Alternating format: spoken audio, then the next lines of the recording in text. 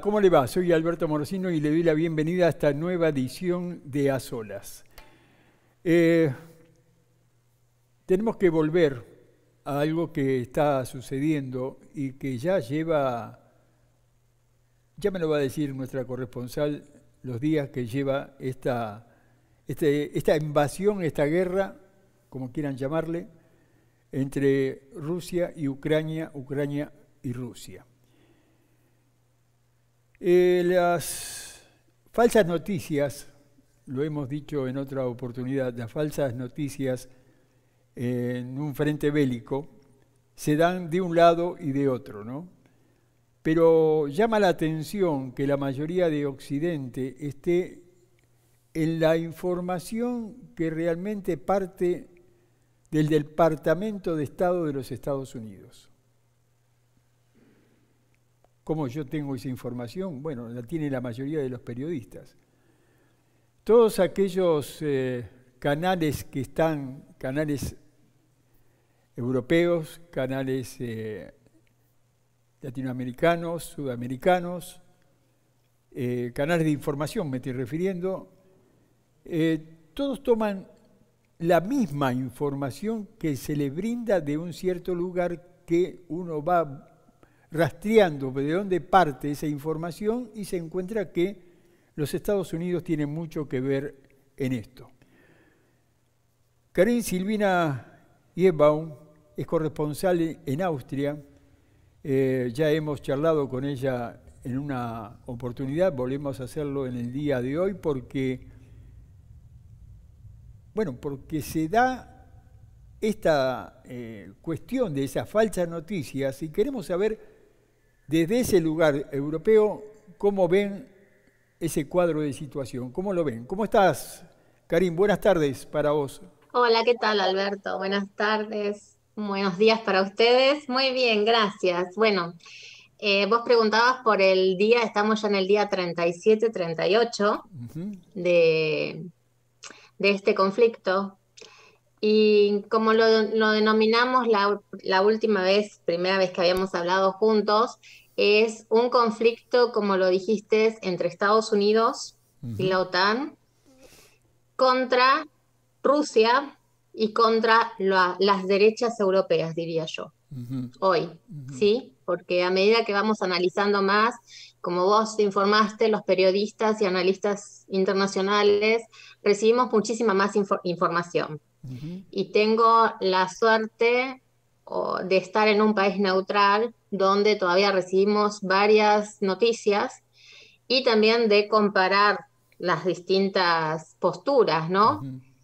Y vemos eh, que se trata de una, digamos, guerra más mediática también entre BBC, CNN contra, digamos, los medios eh, más liberales, más libres, ¿sí? Y bueno, están todos manipulados, digamos, los medios oficiales. Claro, y tienen y escriben posturas pro, claro, escriben pro Ucrania, pro Estados Unidos, victimizando a Ucrania y quedando Rusia como, digamos, el mal asesino. Pero nadie plantea y nadie blanquea la realidad de lo que sucede en Ucrania dentro con la misma gente del mismo gobierno, que está sucediendo, voy a, voy a nombrar una palabra que no me gusta, pero está sucediendo, y yo tengo también imágenes que si deseas te las puedo hacer eh, acercar para que las puedan ustedes también publicar. Sí, la he recibido. De lo que está sucediendo. las he recibido hace instantes, esas imágenes que son bastante fuertes, ¿no?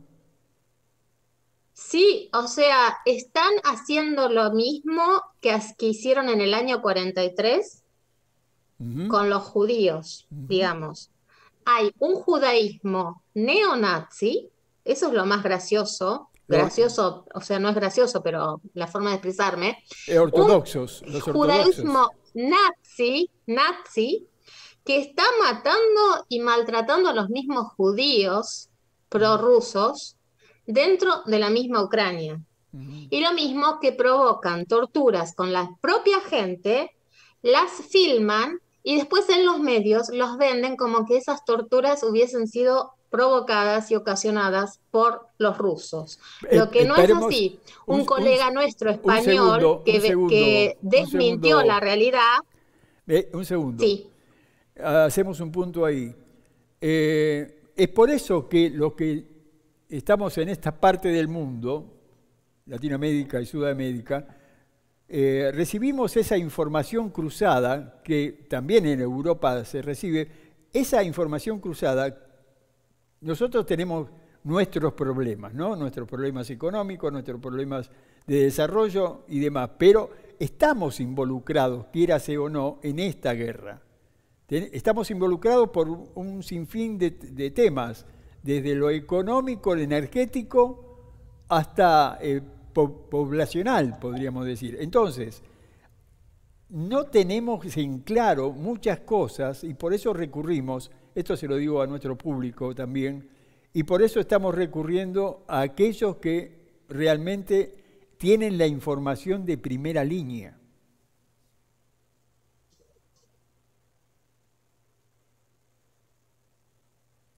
¿Se entiende?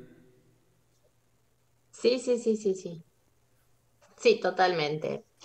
Y lo que yo quería, quería explicar es que se filman muchas, eh, muchos juegos, trucos de guerra, y eso se los venden a los medios. No estoy tomando una postura de que Rusia sea inocente, no, no estoy tomando una postura totalmente neutral como comunicadora, pero sí los medios y la gente tienen que saber la verdad, que Ucrania está manipulando a todos los medios, victimizándose para lograr todo lo que ellos quieren obtener, ya sea de la Unión Europea como de la OTAN. Y como no pueden tener ingreso a la Unión Europea, manipulan a los Estados Unidos europeos y se encuentran con la situación de que Europa les dice, los recibimos solamente el tiempo que dure la guerra, pero después tienen que volver a Ucrania. Y ahí es donde está también el conflicto que hoy se está presentando en Europa y con, las grandes, con los grandes problemas que tenemos de inflación, que por esta guerra causada estamos teniendo un 5 a 7% de inflación en, digamos, en todos los gastos comunes cuando acá no existía. Para nosotros son sumas enormes. Y también lo que está afectando el tema de la energía y del gas, que ahora hasta el 2027 no puede independizarse Europa de Rusia, de todo lo que es eh, el recibimiento de la energía y del gas. O sea que por eso hay países que se mantienen neutrales y donde entran en conflictos porque también reciben la amenaza de la Unión Europea. O sea que a mi análisis personal, hay un conflicto hoy si realmente hasta cuándo va a durar la Unión Europea. Porque de ahí podemos partir a las elecciones que vimos tanto en Serbia como en Hungría, que ganaron nuevamente, fueron reelegidas las derechas. Y las derechas son eh, digamos, eh, ideologías políticas que están contra la Unión Europea. Ellos más bien son de integrar a Europa, pero cada uno manteniendo su soberanía e independencia total en las decisiones que tomen en la política social, económica, cultural. Y lo único que están dispuestos a compartir es el libre comercio. O sea que ahí vemos en estos dos países cómo está pensando la sociedad también vemos la neutralidad de Austria, hoy que pronto tiene elecciones, y hacia dónde se están inclinando también los ciudadanos austríacos. Y estamos también analizando Francia. ¿Quién gana en Francia?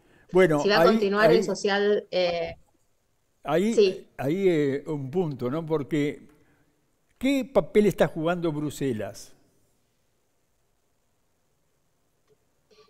Bruselas está jugando un papel, digamos, de globalización. Bueno, pero, pero perdón, yo no sé si te Bruselas, Bruselas juega un eh, papel de globalización, globalización que se terminó. Exactamente, porque estamos en una dictadura europea hoy. o sea, si bien estamos en una unión global, pero no tenemos una globalización, digamos, en lo que se llama libre comercio, libre eh, libre poder de decisión, sino que estamos atrapados prácticamente somos dependientes de los Estados Unidos hoy. Y todo lo que dice Estados Unidos a través del títere de Zelensky es como que le siguen la corriente, poniendo a Europa en contra de Rusia cuando sabemos que, eh, que Rusia es el mayor proveedor de bienes necesarios para nuestra vida, ¿no? Y también nos pone en contra de lo que es eh, Eurasia hoy, y nosotros dependemos de Eurasia. ¿Pero por qué? Porque Estados Unidos se está dando cuenta que está perdiendo poder y es todo el tema no del país en sí, sino de esta ideología demócrata que está acá, que estamos, estamos siendo víctimas, Europa, de Biden, de Obama, digamos, y de esa democracia, no democracia, que quieren socializar o hacer un socialismo puro de izquierda en lo que es Europa. Lo que pasa es que los europeos en gran parte se están revelando y el gran peligro es que por esta revelación entran las extremas derechas. O sea, siempre es bueno cuando hay un punto medio, pero cuando son extremistas, pueden provocar también un gran problema, no solo en lo que es la política económica, eso es lo de menos, sino en la política social y todos esos aspectos que abarcan, digamos, el, el bienestar europeo. Así que hoy Europa está en una crisis total. Bueno, allí, allí en... Total que no sabe.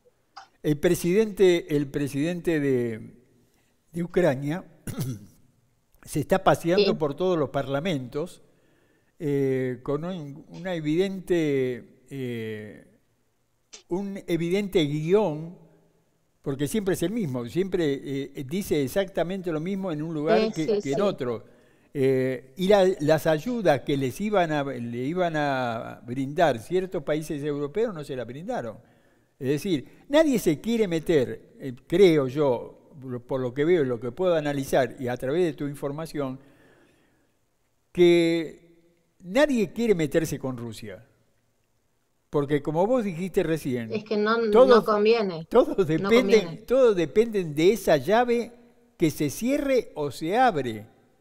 ¿No? Si se cierra o se abra, esa llave va a permitir Ah, bueno, ustedes ya están en casi cerca del verano, pero el, próximo invierno, este, no sé qué va a suceder si Rusia dice, bueno, vamos a cerrar la llave y no la vamos a abrir. Exactamente, eso es lo que no piensan muchos países europeos y a mí lo que me está asustando mucho, los países que tuvieron el coraje de echar a los, eh, digamos, diplomáticos rusos de sus países, entre esos está Italia, está Dinamarca, entre otros, y no piensan las consecuencias que pueden tener porque no conocen la mentalidad rusa, la mentalidad euroasiática es diferente. A mí me atacás o me atacás a mi gente, me atacás mi nación y yo aprieto el botón y salgo a la guerra, salgo a matar. O sea, ellos tienen otra ideología, otra mentalidad guerrillera, que no, ahí no les importa nada, porque es cuestión de defender su patria, de defender sus intereses, de defender su propia tierra, y les están violando, digamos, a sus propios derechos como euroasiáticos que son, donde las, digamos, los cuerpos diplomáticos no tienen nada que ver con la decisión Exacto de la guerra. No tienen nada que ver, ni los rusos tampoco que viven en otros lugares. Eso es una decisión política que ya sabemos que tiene un carácter también espiritual, ¿no? De un conflicto que viene ya de más de 800 años en este, entre estas dos culturas.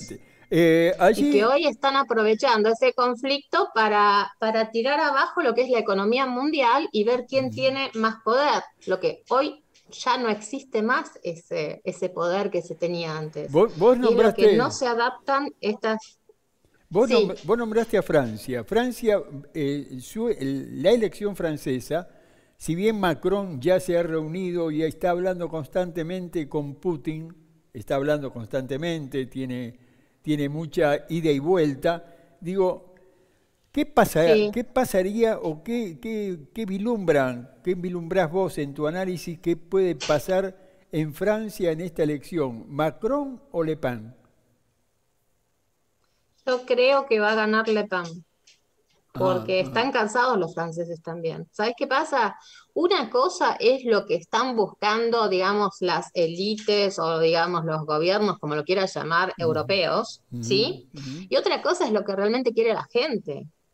Lo ves en los resultados de las elecciones, los ves en las manifestaciones que muchos medios no las pasan, pero acá, por ejemplo, en Viena, tenés todos los viernes, sábados y domingos manifestaciones pro Rusia, pero contra la guerra pidiendo por favor que no les hagan más caso ni a la Unión Europea ni a, ni a la OTAN. O sea, se está buscando neutralidad de los países. Pasa lo mismo con Suiza, que en Suiza también tienen el conflicto de que está el foro donde está Schwarz, donde está Soros, y también donde se le está prohibiendo el ingreso a Soros en varios países. Eso, esa información sí les llega.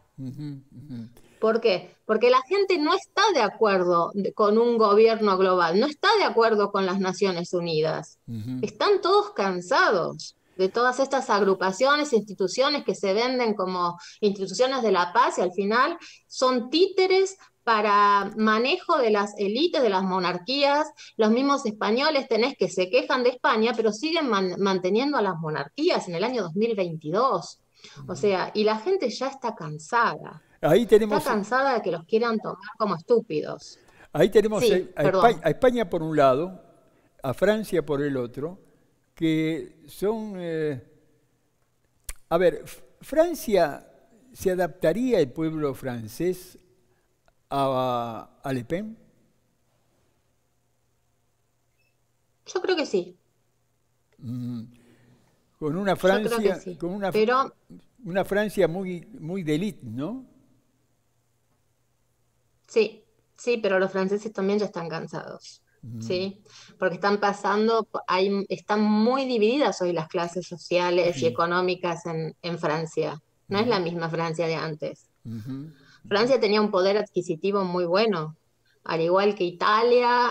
Eh, España siempre fue con altibajos tipo Argentina, ¿no? Sí, sí. Pero digamos, eh, Italia, Francia, eran países que siempre estuvieron muy equilibrados a nivel económicamente y hoy están luchando y se encontraron los mismos italianos con la sorpresa de que Italia echó a los, eh, digamos, a los diplomáticos rusos cuando la misma gente, el mismo pueblo de Italia, son más tendencia pro-Rusia que pro-Ucrania. Pero ¿por qué son más pro-Rusia? Porque los europeos quieren los valores se está viendo que estos, eh, o sea, acá estuvieron blanqueadas todas estas informaciones sobre los laboratorios, sobre Hunter Biden, sobre eh, las inversiones de Soros.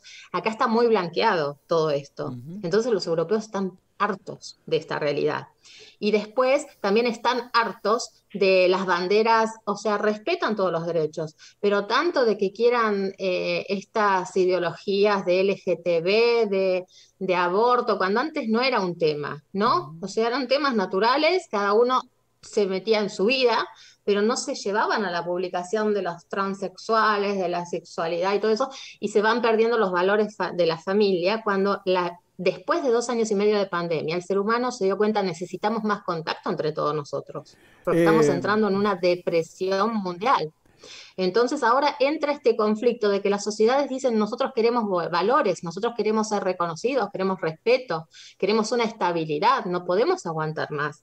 Porque fíjate, salíamos de la pandemia y ya nos metieron en esta crisis de la guerra, parece a propósito. O sea, es demasiado para la humanidad, porque no es que abarca una sola zona. Es una, es una guerra que abarca dos países, pero nos está estropeando la economía y la sociedad de todo el mundial, fíjate.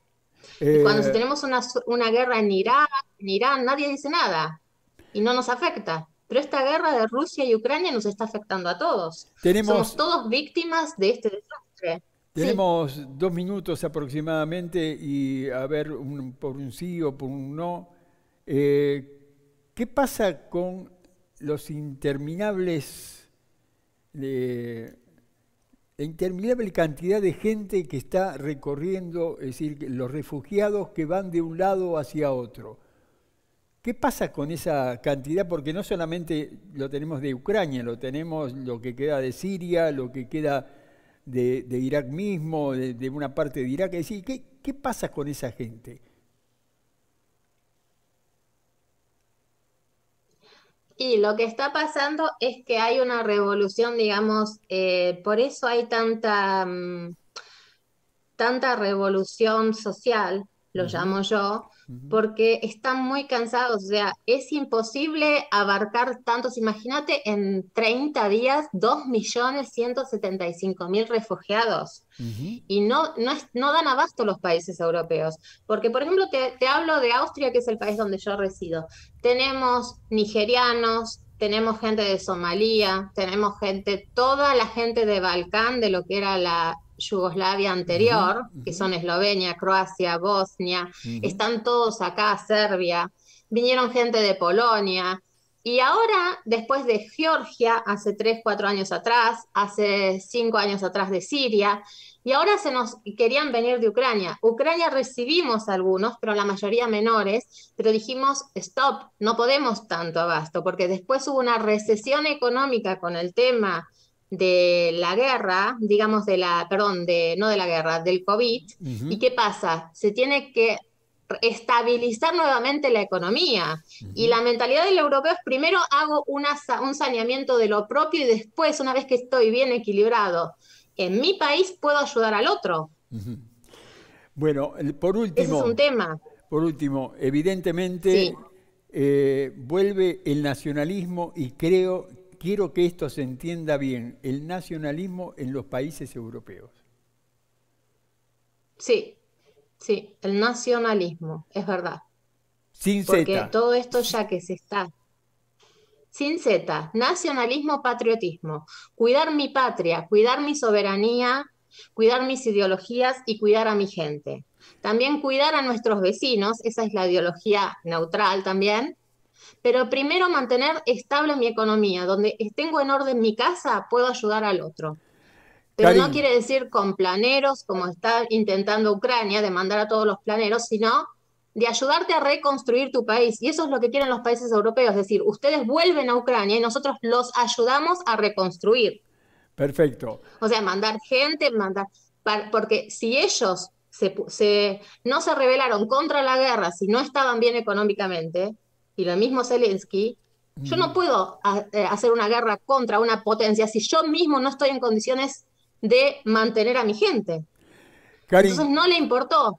Pues le echan la culpa al otro y el mismo presidente llevó a la ruina a su país. Karin, o sea, ¿te das cuenta cómo es los análisis? Sí, sí. Karin, eh, se me acabó el tiempo. Gracias por tu, por tu tiempo. un placer. Muchas gracias y nos estamos por la invitación y cuando...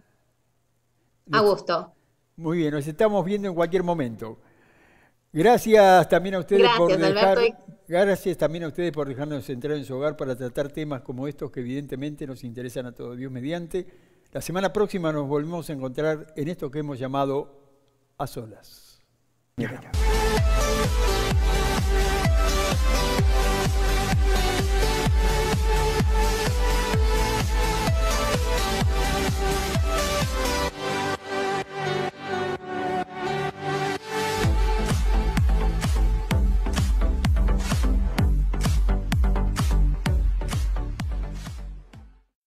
Andar, obra social de viajantes vendedores de la República Argentina. Planes de salud para empleados en relación de dependencia, monotributistas y particulares. Solicita un asesor comercial al 0810 345 0184.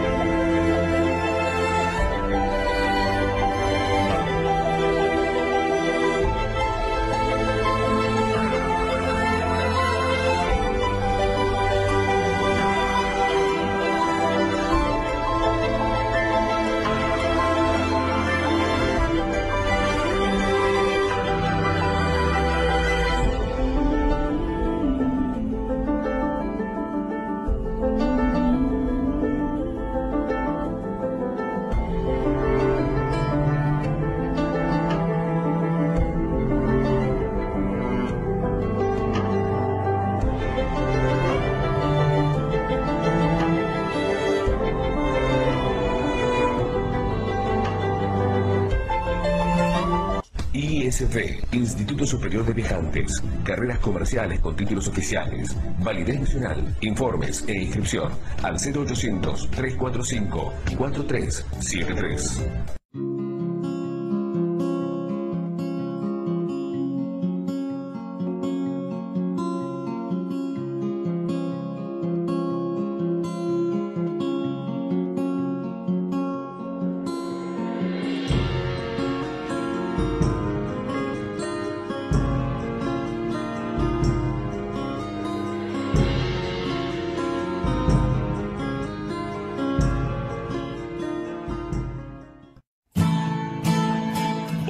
345 4373. Hotel Udrasazo, todo el año te espera en Punta Mogotes, Mar del Plata.